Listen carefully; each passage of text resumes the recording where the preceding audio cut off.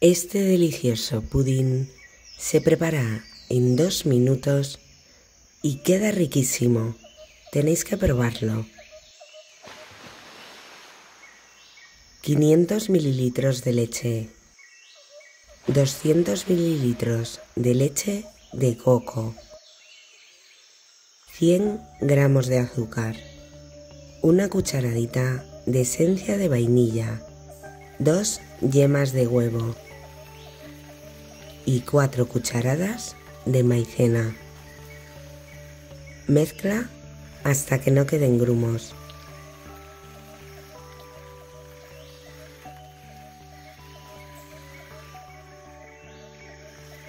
Y ponlo a fuego medio hasta que espese.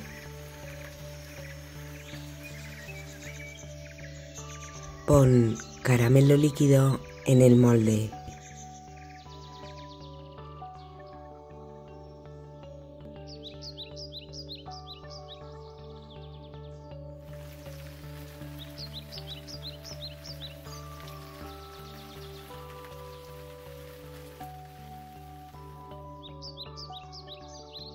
Añade 20 gramos de mantequilla a la crema.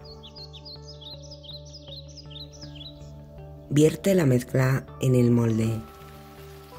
Cúbrela con film y guárdala en el frigorífico una hora.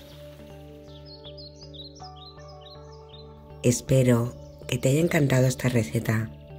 Hasta el próximo vídeo amigos.